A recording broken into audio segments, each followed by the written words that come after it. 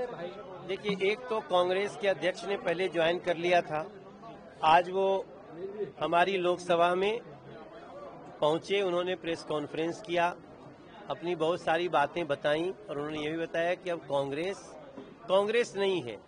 वो शायद अब माओवादियों के चंगुल में है। दूसरा, हमारे यहाँ आज अनिल झा जी, ये विश्व मैथिल संघ के अध्यक्ष हैं और दिल्ली में लगभग 45 लाख लोग हैं मिथिला समाज के जो उनसे संबंध रखते हैं। ये आम आदमी पार्टी में थे, उनके पूर्वांचल मोर्चा के उपाध्यक्ष थे। इन्होंने आज बहुत अच्छी बात कही कि जब स्वाति मालीवाल जैसी महिला का सम्मान नहीं कर सकती आम आदमी पार्टी तो फिर अब वहाँ पे हमारा कोई सम्मान नहीं है, ऐसा कहा उन्होंने। और उन्होंने दो तीन बातें जो कही नरेंद्र मोदी जी का जो विकास का रथ है, वो प्रभावित कर रहा है। इनके गाँव जाने में 10 घंटे की दूरी घट गई। इस दिल्ली में और कहाँ कहाँ 370 धारा हटने का, ये सब बातें वो कहे। मेरा मानना है, यही भाव देश के हर उस व्यक्ति का है, जो किसी पार्टी में हो, लेकिन उसके दिल में देश धड़कता है। मैं अनिल जी का बहुत सम्मान करता था। इनके कार्यक्रम होते थे, मैं जाता था। मैं कभी नहीं बोलता था कि नहीं नहीं, आप, आपके मंच पे किसी दूसरी पार्टी का नाम लिखा है तो मैं नहीं। ये मेरा भी फ़ोटो लगाते थे। तो इनका मन बड़ा है, ये पहले से जानता था। लेकिन देश के प्रति अगर कुछ गड़बड़ी हुई, इनको चोट लगी, इन्होंने आज भारतीय जनता पार्टी ज्वाइन किया। उसके लिए मैं इनका हृदय से धन्यवाद करता हूँ इनका सम्मान भी करूँगा।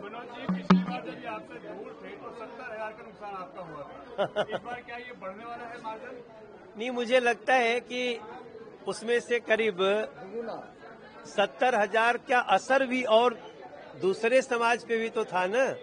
तो अगर इस बार हम लोग बुराड़ी से और दिल, इस दिल क्षेत्र से करावल नगर से अगर हम लोग का अंतर ये पाँच लाख की जगह साढ़े पाँच लाख भी हो जाए तो किसी को आश्चर्य नहीं होना चाहिए।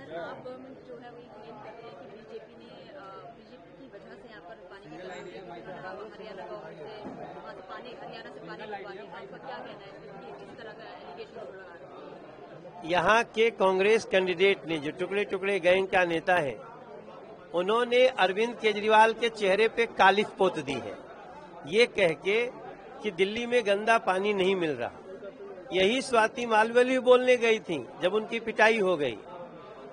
सच्चाई ये है कि दिल्ली को पानी देना, नल से जल देना, बुज़ुर्गों का पेंशन देना, राशन कार्ड बनाना, गलियों के जल जमाव को समाप्त करना छोटी छोटी सड़कों का निर्माण करना, ये सारा दिल्ली सरकार का काम होता है।